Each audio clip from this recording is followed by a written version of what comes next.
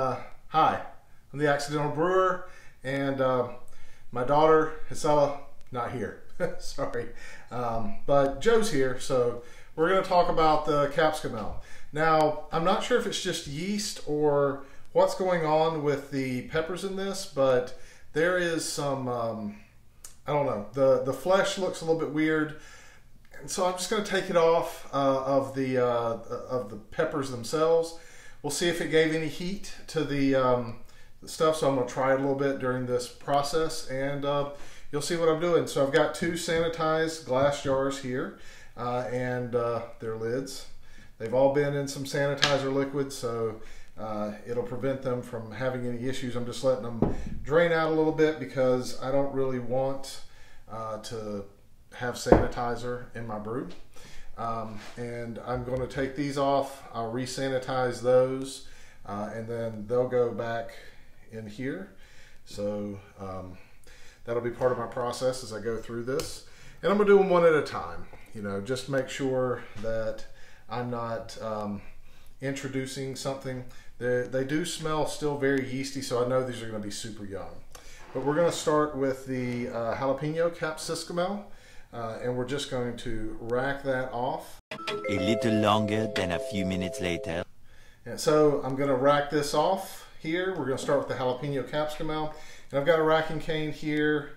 Um, and so this might be my secondary. It may still technically be the primary because I may just mix everything up and move it over. Um, I'm going to see kind of where it is first before I do this. And I should have thought of that before I um, started this because, you know, I'm smart like that. So what I'm going to do, put this back down here and say, let's see where this is. Uh, I'm not really sure yet where it is, so I want to kind of figure that out, see if it's gone where it needs to, because maybe it's still in primary, but I need to just get the, uh, the stuff off of it. Or maybe it's gone, it's burned all the way through uh, its um, gravity. It's burned all the way through its gravity. It's burned all the way down to uh, through the sugars that are in it, through the fuel. Um, so definitely smells like sulfur. Has a very footy smell to it. Um,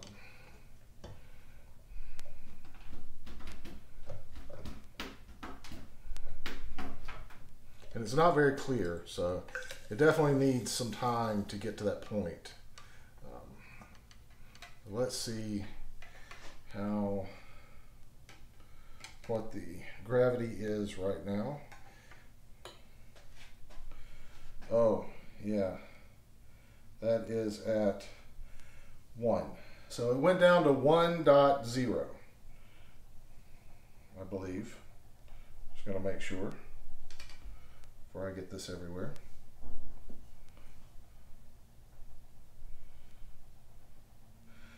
Okay, so it's at 1.02, which is uh, generally what happens before I go to secondary. So I'm actually just going to rack this off like I would uh, to secondary. I didn't plan to do anything to back sweeten these yet. Um, and I may add some honey to it um, afterwards, uh, depending on how it tastes. Um, but I got to get a tasting glass, so cut.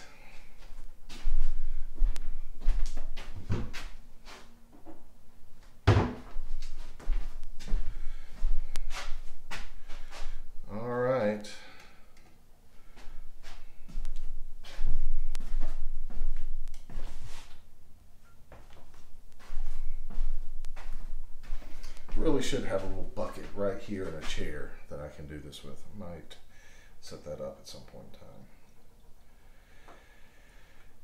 Okay, so let's see how this tastes. Ooh, it smells very vegetal. It uh, it's pretty smells pretty rough. Mmm, though there is a spicy kick to that. It's very similar to ginger mead.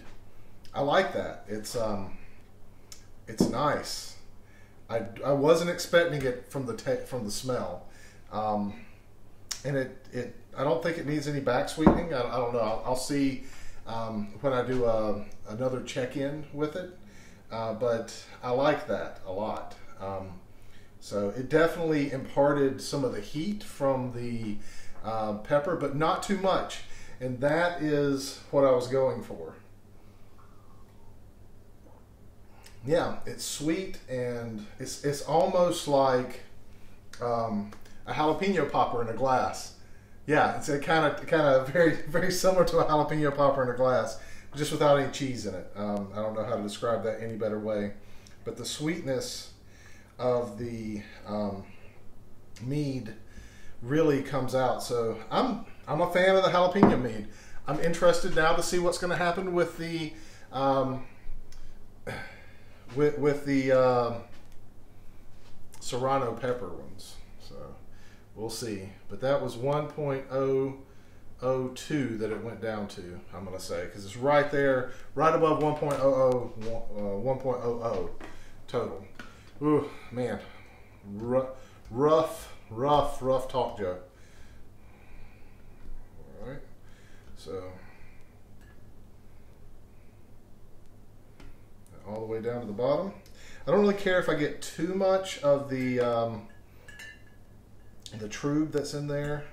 I, I want to try to avoid it as much as possible, but if there's a little bit, that's fine because I'll rack it probably one or two more times, and it's it's really not falling out. So I haven't given enough time. The only reason that I'm racking it over now, um, even though it's a little bit early, is because of the um,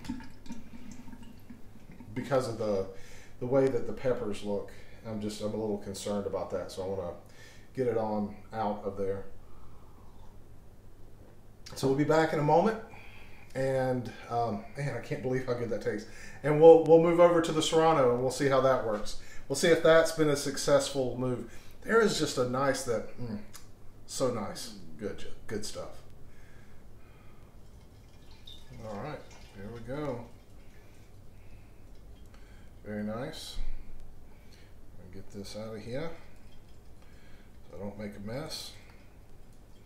And then I'm going to go sanitize it and we'll be on to the next portion where we look at the Serrano one, um, which I'm hoping we'll be doing in a moment and not in an hour as I knock things over and make a mess. Come back with the racking cane. Everything's been sanitized again. So all except for this. I need to rinse this out.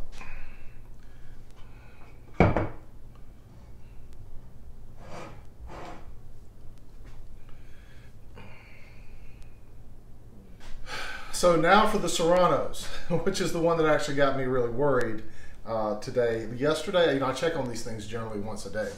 And yesterday, I did not see any weirdness, and I think that's just the yeast hulls clinging to the outside of it, but I'm not 100% sure. So I was just kind of like, mm, maybe it's mold.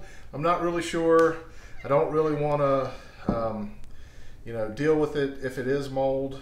Um, so I'm just going to move everything on over to uh, another one. But before I do that, I want to check and see how it has come out.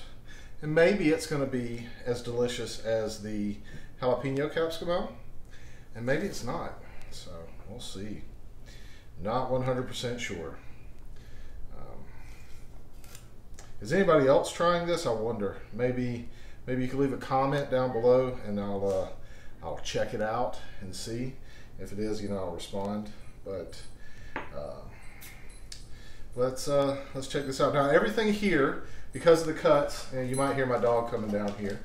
Um, he wants to he wants to hang out with me, Cooper. Um, but because I am doing this and I'm cutting it, you may not see me going over to the sanitization bucket and pulling stuff out and everything, but I am sanitizing all of this. Uh, trying my best not to introduce much, uh, if any, um, air into this. Oxygen.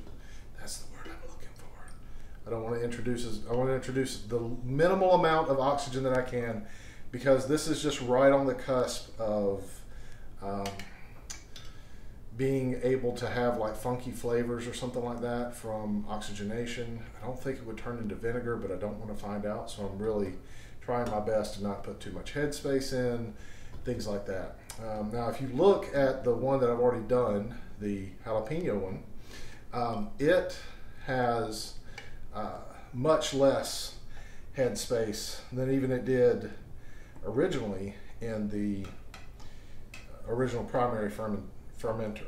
So uh, now I also want to remind you that both of these were um, made from the same recipe. The only difference is the peppers that are in there.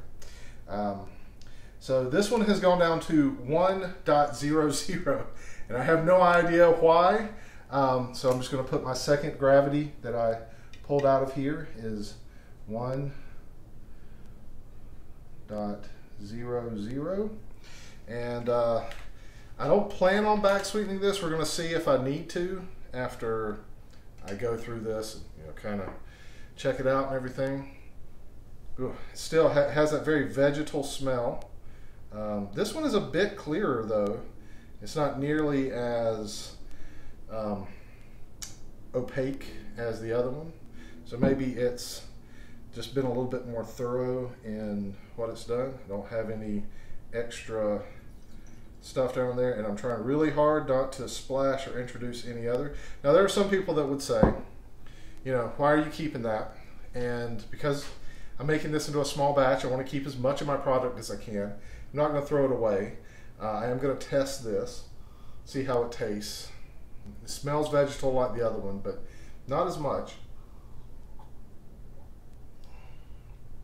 So the serrano peppers they impart their flavor, but they don't really give off as much heat. It's more of like a sneaky kind of heat. It's just barely there. Hmm. I don't know. I'm gonna let it set for a little while and see what happens. But I definitely oh, there's a little bit of heat in the back of that. Just a tiny bit though. Uh, it's not much. So again, you know, I want to move this off uh, of its primary fermentation. I'm just I'm a little concerned about the uh, the stuff that's on the peppers themselves. Uh, and now that I've flipped over one more, it is not. It mo- it's mostly green, so I'm I'm not sure.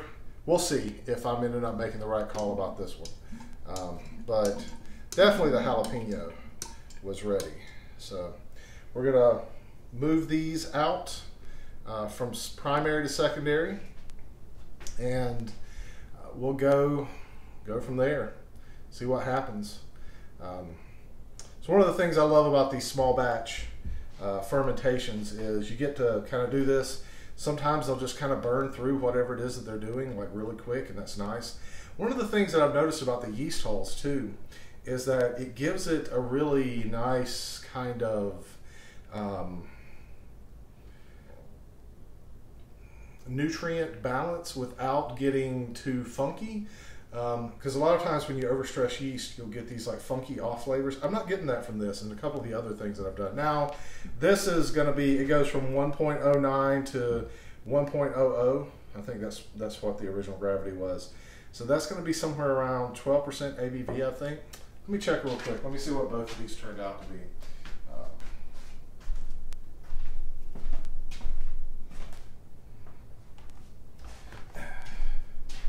Getting my trusty old iPad, the, the iPad tablet, and let's see if I'm looking at the um,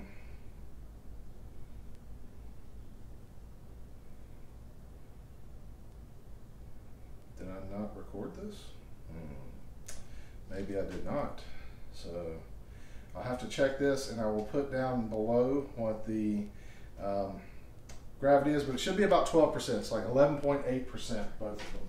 So that's not too bad, and that's in a range that I kind of like it. And it still has a little bit of sweetness because it's not completely dry. It didn't go to 0.09 or um, 0.9, no, 0.099. it didn't go to that. Oh, having so much trouble thinking today but it didn't go. It didn't go to that, and so because of that, I'm not as concerned about there back, being a back sweetening portion of this. So I may um, just let it set, see if it goes any lower in a couple weeks, and if it doesn't, move it off to uh, to bottling. That'll be fun. This will be the first one that we bottle on the show. Um, I still have the pyment that we did uh, in one of the episodes setting in uh, its primary fermentation. That was probably going to set for a while, um, but I'll probably like in, in like a week and a half, two weeks, I'll move that off. So yeah, I'm uh, I'm pretty happy with this. Oh, big air bubble, just somehow got out. do the gentle tilt of uh, bottling or racking. um, yeah. I don't know that you're even going to hear me talking about this stuff. You know why? Because I might just fast forward through all of it. It doesn't exactly make for premium content. But maybe, maybe I'll stop at some point and you'll be able to hear me talking about it. Either way, um, both of them had a pretty good yield out of it. I'm still getting around that um, one. So, from what I understand, now I got this off of uh, City Steading Brews, but about right here is one gallon. So anything above that, you can see I've got some head space up into a little bit over the shoulder on the jalapeno one, and I'm probably going to get that same head space here. Anything other than that is going to be about um, a little bit of extra. So this is like 1.2 gallons, um, you know, so wh however that works out. All right, pull that out. Don't want that to get too oxygenated. Well, and then I'm going to put the lid on it and kind of finish things up.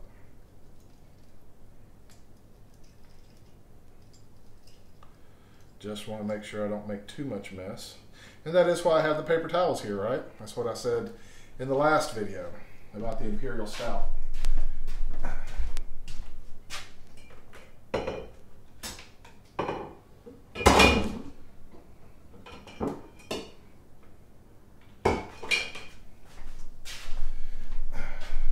Okay, so get the fermenter put together. Gotta go redo the airlock. So basically the way I make my airlocks is I just put some sanitizer liquid up in there. Uh, that'll kill any bugs or anything like that that get in there, which um, rarely, I don't think I've ever had a gnat or anything try to fly in there, but if one was to crawl in there, it wouldn't get down to my brew. And um, pretty much it. I just I put a little bit of sanitizer up to about that point, and then I put it back together and I make sure I clean them really good with sanitizer in between shots. So, um, you know, airlocks don't get too dirty, but everything here has been sanitized through, so I'm not as concerned about it. But that's been our episode for the day. Uh, I think we're gonna have a Patreon down below. Um, this is just kind of a starting channel. My my daughter and I, you know, we wanted to do something fun. So if you want to help us get some new equipment or something, that'd be great. Um, otherwise, thanks for watching, and we'll catch you next time.